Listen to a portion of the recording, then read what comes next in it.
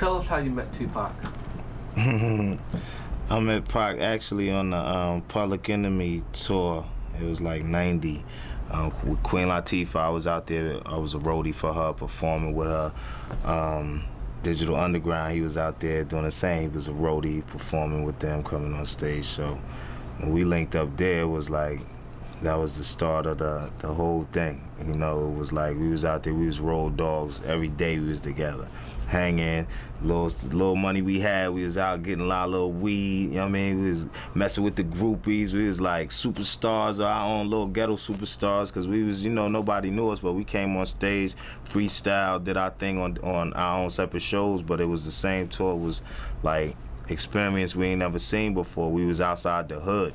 You know, we was out doing something. We was we was hustling in a legal way where we, we wasn't gonna get no trouble for what we was doing. We was used to hustling on the on the streets. You know what I mean? So when we got out there, we seen a whole new life together from two different hoods and two different sets, but like the same type of homies with the same mindset, set out for the same things. You know. How how did he strike you when you first met him? Like, did he really impress you with his drive and ambition?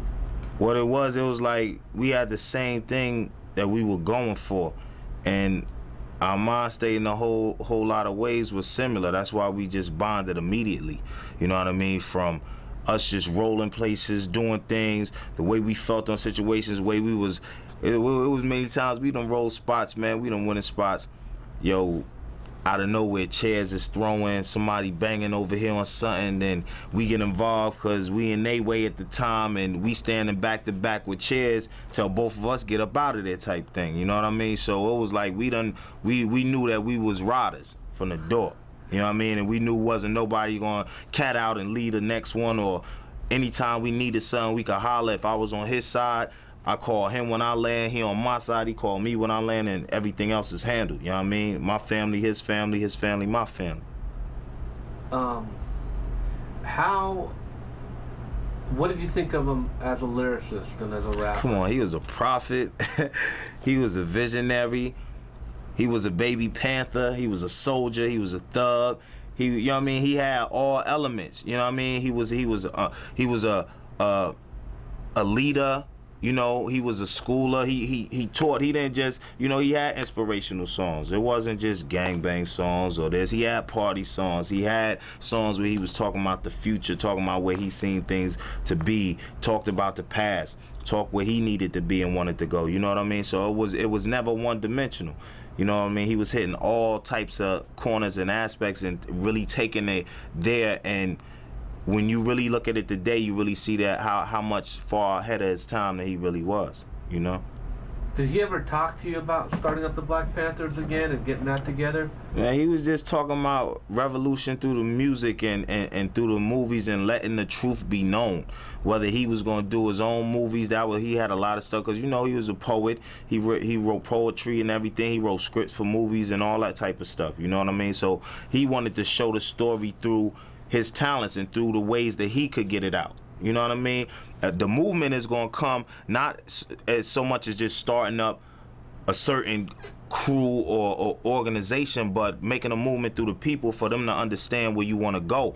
And through your music and through movies and through, you know, media and everything else, that's where you could get the message out there to the masses. And that's where he was a master at. You know what I mean? Getting the people's attention and getting the masses to want to sit and listen and find out what Tupac had on his mind and what Tupac wanted to say. You, what, what do you think um, you gave him as far as becoming a man? I think we what we gave each other. It's not even a one-sided coin. You know what I mean? It's it's two ways. It's like he he gave me my inspiration through movies. The first movie he did was Juice. And it's like he called me up because that was right after the tour and everything. So like I said, we stayed on the horn anyway, even though we wasn't, you know, on the same turf or whatever. But came down was like, yo, come over here and do this movie. I'm like, man, I can't get over there every day to train. You telling me be there by 6 a.m. I'm like, man, I'm in Jersey. It's like, nah, just move over here. It was me, rest in peace him. Uh, it was um, um Stretch, and Ed Lover, we was up in there like one hotel room, just there every day, just doing it. Stretch was in the movie, we all was, you know what I mean? So he had his like, I'm gonna get you a roll up in here. When I came out, it was like things I done. I had him back up in there. First we did um, OPP, then we did Uptown Anthem, and that was like the song to the movie Juice, cause the movie came out. Then it's like we had like after we done the movie, our project had came up and like just blew up overnight. So with that, I'm like, yo, we gonna do a video and you gonna be a star up in there with us. So you know, it was like we would do things back and forth with each other, like where we had our foot in the door already. We would bring the other one in like that, and we did that throughout our careers. Now there's a great story about that uh, audition, that Juice audition. Mm-hmm. Can, you, can you tell that story?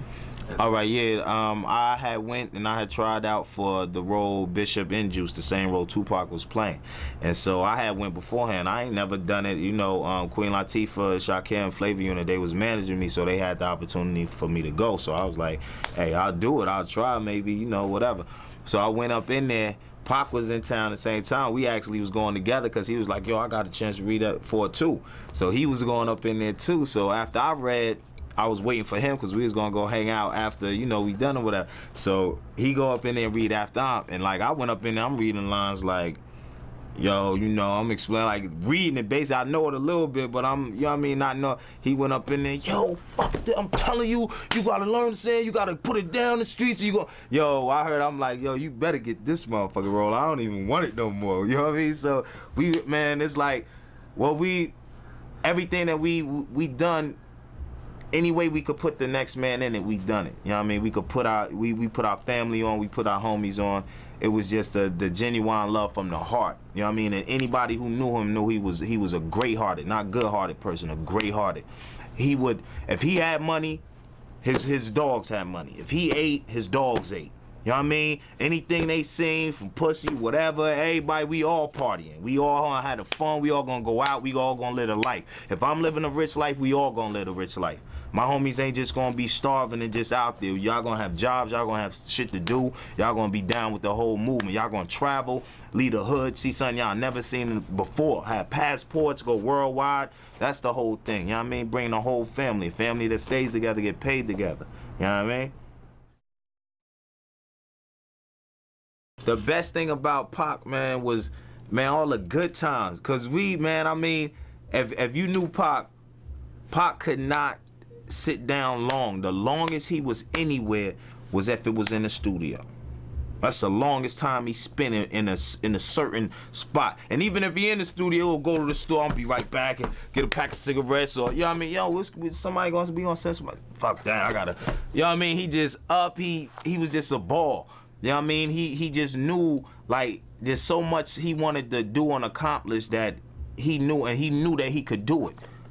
If he put his mind to it, it was all in his, his mom's, Afeni, he he loved her. You know what I mean? He used to always say stuff, man, listen, man, my Dukes taught me woo woo woo and woo woo and, and just be putting it down. You know what I mean? Like, yo, like he was a soldier from here. You you seen it was the upbringing.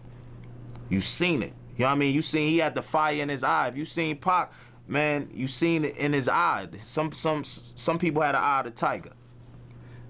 Now I mean? He had the eye of the tiger. Do you think he was a happy person? Yeah, for the most part, very. You know what I mean? What what what what hurt him the most was people not understanding him. You know what I mean? And and and and painting a picture of this this this bad guy. You know what I mean? He was like he was he was getting his whole thing with with thug life and everything else. He was gonna grab the whole thug nation, not just in the United States, worldwide.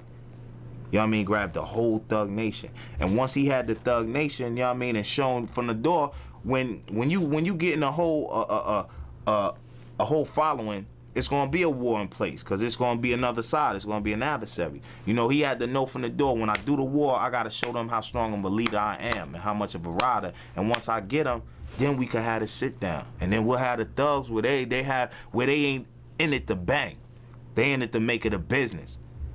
You know what I mean? And, and and take it over the way they should be. He knew that that all of us, as far as the urban communities, everything was concerned, we was trapped and we was catened off. You know what I mean? So we couldn't be successful, and that would, that we would kill each other. You can find anybody in a spot, they can't get out. The only the frustration gets you know stays there. So he was gonna get the whole Thug Nation and turn it around and make it that movement.